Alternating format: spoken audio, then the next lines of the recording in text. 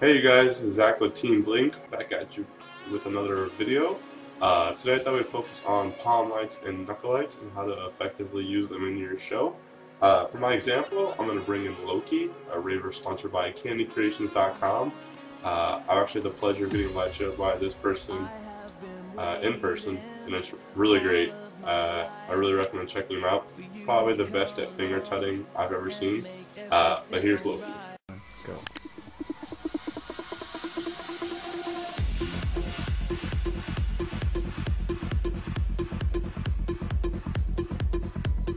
Alright, so uh, you probably noticed unfortunately Lokey didn't use palm lights in that clip. Uh, that's okay. Most of us know what palm lights are, and if you don't, it's pretty apparent. Uh, palm lights are lights that are used in your palm.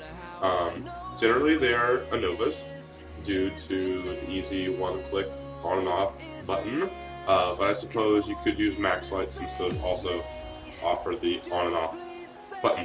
So it's very simple to use these. Um, there's different ways to keep them in your gloves. That's generally the hardest part for people is how do I keep it from moving everywhere I'm giving the show. Uh, some people will use Velcro, uh, get little Velcro circles and just Velcro them in. We'll use glue, which is I would glue. Uh, but the really the most easy and effective way to uh, do this is keep the clip that Inovas come with. So we're just going to slip it in with the button obviously facing up. Slip it in there. And when it comes to the clip to the edge of the glove, we're just going to clip it on the edge of the glove.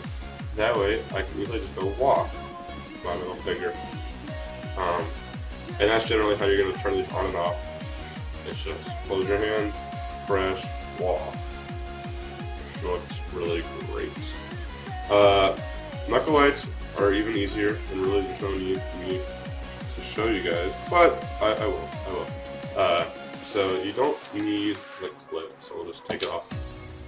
It's easy, just put it, uh, put it in up or down, just put the Inova in your knuckle, put it at the very tip, that way it's the brightest for the audience, and it's not going to go anywhere, it's pretty snug in there, mine doesn't really move around that much, and if it moves around a little, it's usually fine, uh, and just turn on the strobe. Strobe looks the best because it's kind of trippy and such, and you don't really see it that often. Um, so yeah, that's it. Really simple, really easy, but just another way to kick up your glove light show and make it look even better. Uh, if you have any questions or concerns, please comment on me. If uh, you have any recommendations for a new video or a move you're having trouble with, just hit me up and I'll make a tutorial of it as soon as I can. Thanks a lot, you guys. Peace.